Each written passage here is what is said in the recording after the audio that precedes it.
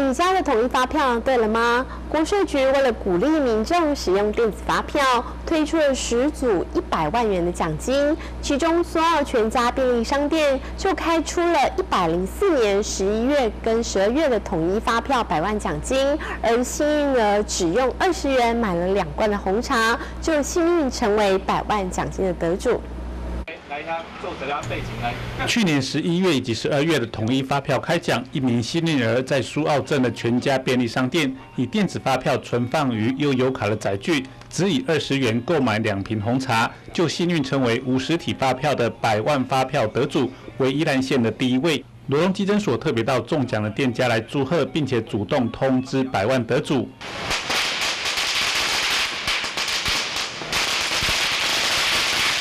啊，这次他是买那个麦香红茶哦，一罐十块钱的麦香红茶买了两罐，然后采用那个无实体电子化，就是采用载具索取无实体电子发票啊中奖的。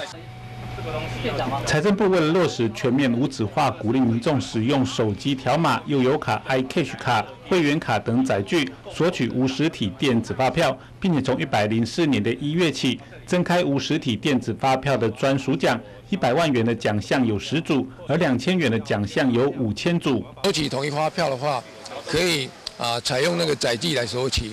那如果说采用那个载具来索取的话，我们有这个两次的中奖的机会啊，一个是属于这个无实体电子发票的专属奖项，它那个奖项的金额的话有两千块的五千组，那一百万的有十组。那除了这个无实体的专属奖项以外，它还可以对一般的那个奖项。那如果说两个都中奖的话，我们可以折高来这个领奖。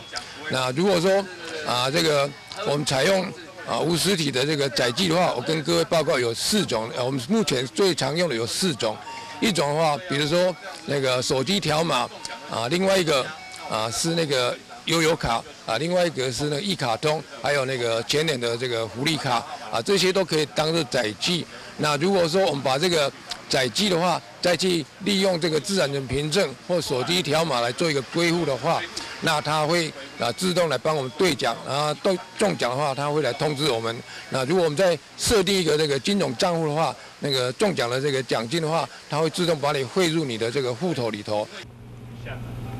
罗龙基征所表示，使用电子发票享有双重中奖机会。若统一发票奖项与无实体电子发票的专属奖同时中奖，将择优来给奖，可说是好处相当的多。宜兰新闻记者石世明采访报道。